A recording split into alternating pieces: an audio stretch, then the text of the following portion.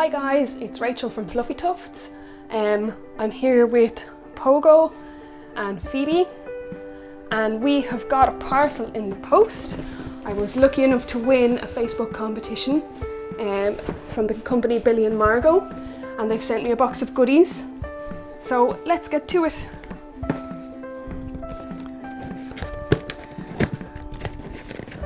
So, oh, must be a nice smell.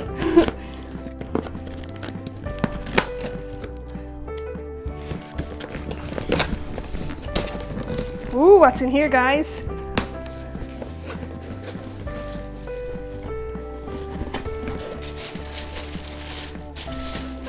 So we have a note.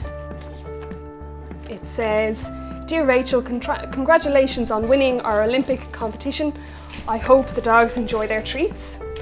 And we have three packets of really nice treats here. We've got whitefish and potato biscuits, we have fish skin cubes, and we have beef and liver bites. So, I don't think an unboxing is complete without a taste test. So let's go for the fish skin cubes first.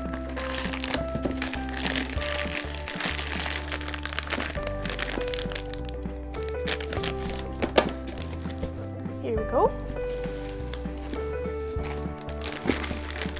Phoebe is definitely interested in one of these. Look. There we go. Pogo is not so sure, but he has lost a few teeth due to dental issues, so it might just be a little bit too crunchy. No, he's eating it. Phoebe's is gone. Didn't touch the sides. She's definitely uh, a fan of those. Come on, pet. Now we're going to try whitefish and potato biscuits.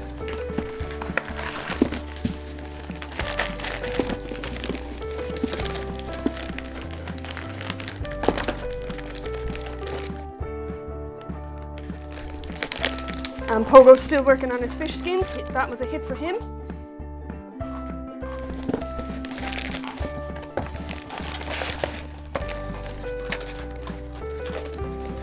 Phoebe definitely loves these treats from Billy and Margot. So let's go with the beef liver bites for dogs.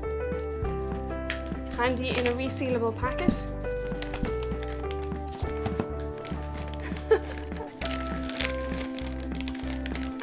Here we go.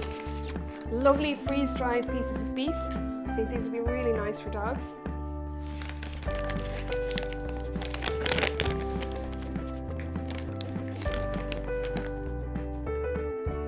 So these are actually 100% air-dried British beef liver treats. So they would get a thumbs up from me for sure and definitely got a paws up from Phoebe. She really liked that. Pogo is still working on his potato and whitefish biscuit, which is made from 100% whitefish and potato with nothing else. So again, they would get the thumbs up from me.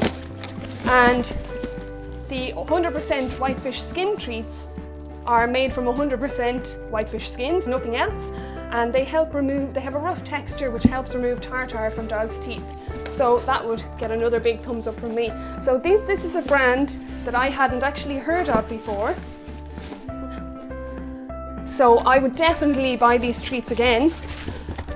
They're made from really, really good ingredients. I like what they're made out of. And as you can see, the dogs are very, very interested in how tasty these are.